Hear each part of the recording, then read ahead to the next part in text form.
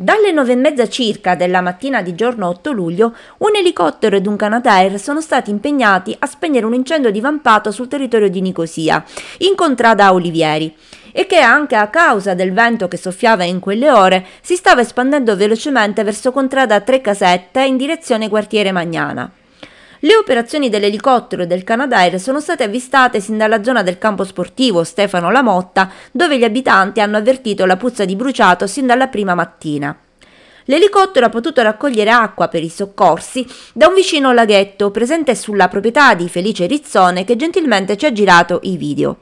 È la seconda volta in soli 15 giorni che viene attinta acqua dallo stesso laghetto per spegnere un incendio.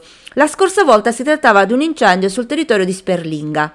Grazie al celere intervento ed al costante alternarsi dell'operato del Canadair e dell'elicottero, l'incendio è stato spento durante la stessa mattina.